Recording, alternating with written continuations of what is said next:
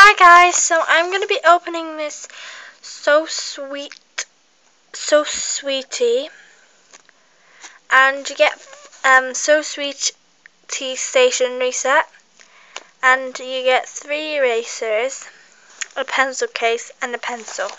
So I'm just going to open it, and I'll get back to you in a minute. So here we go, I've opened them. So here is the pencil case. It's pink on the back and the front, and it's got little signs on it.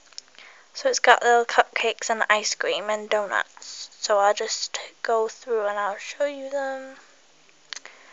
I'll show you them. Nicely detailed.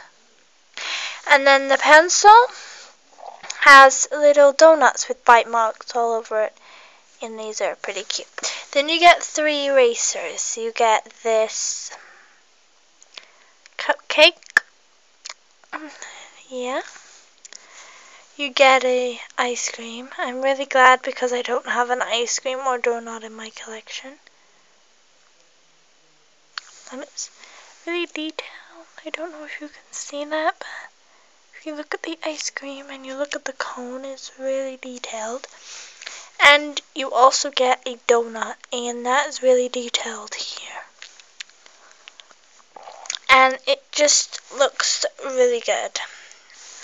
It looks good enough to eat. So, yeah, this was just a short video on my um, racers. And you can't actually buy these in a shop. You have to buy this magazine.